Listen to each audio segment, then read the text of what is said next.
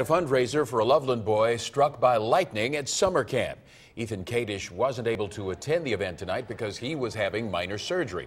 But as tri state Jewish families celebrate the eighth night of Hanukkah, dozens helped raise money to pay for the 13 year old's very expensive medical bills. Organizers named the fundraiser Eighth Night for Ethan and even featured music from a Jewish recording artist. Ethan's family is grateful for all of the support they've received.